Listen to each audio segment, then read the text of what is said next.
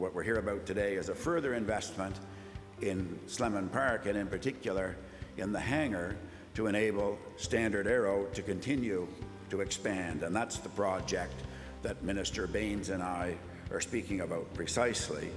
In addition to the 2.75 million that Minister Bains spoke about, the province is putting two and a quarter million into this investment in the enhancement of this hangar and of the Slemon Park facility. Today's announcement allows the company to grow, uh, so allows us to add about 50,000 square feet, employ about 50 more people, and really allows us to bring in additional volume of work into the island. The skills they bring and the productivity that's here in the Summerside location is known right through the aerospace industry across the country.